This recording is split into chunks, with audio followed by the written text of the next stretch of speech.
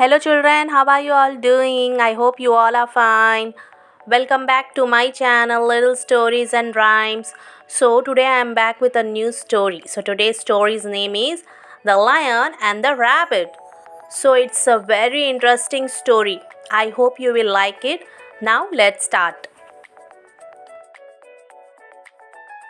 The Lion and the Rabbit. This story tells us how intelligence can save us from the worst situations. Once upon a time, in a jungle far away, there lived a lion. He used to kill about two three animals every day for his meal. The animals were worried and went to discuss this with the lion. He agreed not to kill any other animal if one of them voluntarily comes to him every day. This went on for long. One day it was a rabbit's turn. As he was on his way, he sees an old pond and hatches a plan to kill the lion. He goes to the lion and tells him that there is another lion who claims to be stronger than him.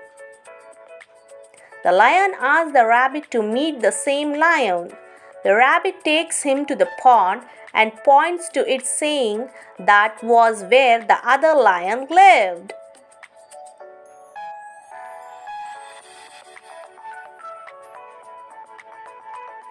The lion jumps into the pond, mistaking his own reflection for the other lion and dies. So, the moral of the story is wisdom wins might. So, children, I hope you have liked today's story. Next time, I'll be back with another new story. Until then, take care. Bye bye. So, please like, share, and subscribe to my channel. Thank you, everyone.